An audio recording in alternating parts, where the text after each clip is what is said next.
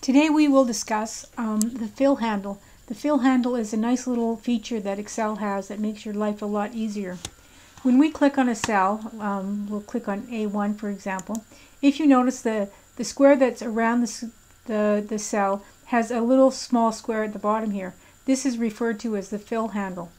Now what we can do with this is, for example, if we type um, the word Monday in here and press enter, and then go back and we click on Monday and then we go to the bottom to reach the fill handle.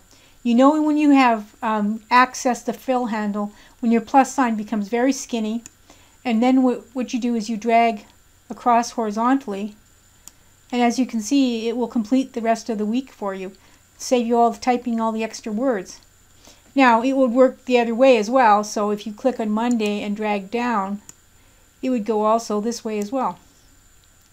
There's other things it can do. Um, it can do the same thing for uh, months.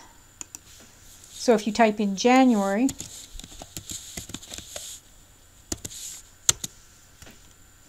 you could, of course, get February, March, April, May, all the rest, all the way down, all the way across. And it will, it will start again, it will keep repeating. Now, there's other advantages to this.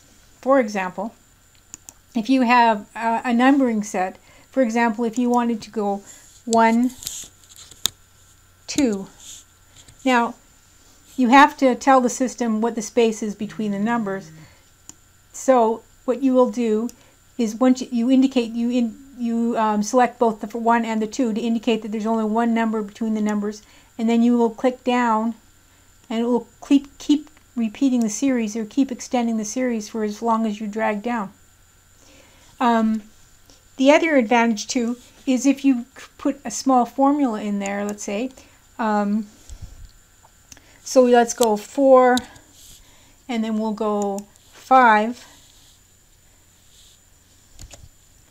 and then we'll put a formula in there equals um, select the 4 put a star for times select the 5 and you'll get a 20 which is interesting, but if you put in another uh, set of numbers beside that, or um,